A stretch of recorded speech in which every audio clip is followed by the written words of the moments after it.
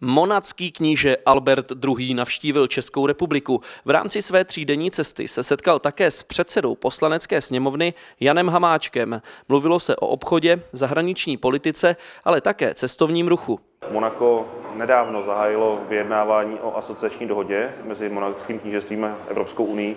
Ta jednání jsou na začátku. Eh, Monako eh, tím vyjednáváním chce zlepšit svoji pozici eh, a pozici své ekonomiky vůči Evropské unie, unii.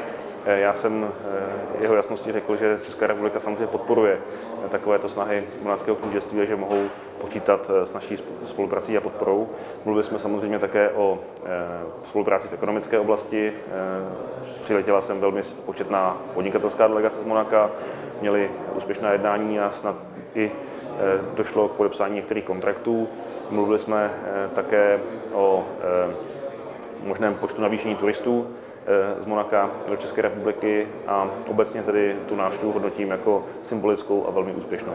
Kníže Albert se pak podepsal do pamětní knihy. Jako překvapení si pro něho Jan Hamáček připravil genealogický strom, chcete-li rodokmen, který dokazuje jeho příbuznost s Karlem IV. On je samozřejmě Eh, aktivní sportovec, eh, účastnil se několika olympijských her. Eh, v současné době se hodně věnuje ochraně životního prostředí, popularizaci tohoto tématu a zvyšování povědomí o těch výzvách, které, kterým čelíme, takže ta pozice Monaka je samozřejmě daleko důležitější, než by vyplývalo z jeho, z jeho velikosti.